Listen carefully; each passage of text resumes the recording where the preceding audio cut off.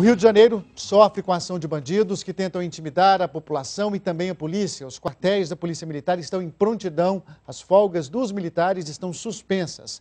Hoje, cinco ônibus, dez carros e uma van foram incendiados. Uma cabine da PM foi metralhada. O vandalismo foi nas zonas oeste e norte, na Baixada Fluminense, na região metropolitana.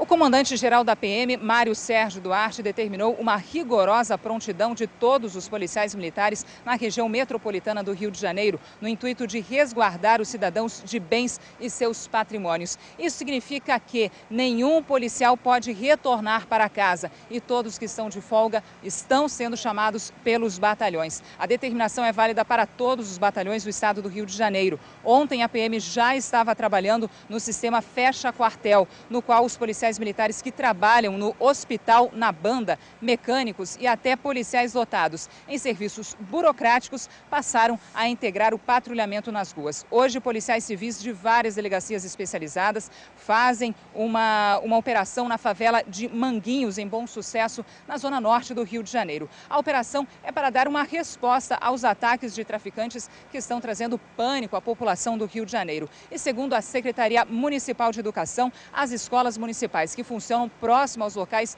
onde aconteceram esses ataques funcionaram normalmente, funcionam normalmente hoje. No entanto, pela parte da manhã, pouquíssimos alunos compareceram a essas escolas. Lembrando também que às 5 horas da tarde, o coronel Lima Castro vai dar uma entrevista coletiva mostrando o balanço das operações que estão sendo realizadas durante todo o dia de hoje em todo o estado do Rio de Janeiro. Do Rio de Janeiro, Anne Lotterman para a Globo News.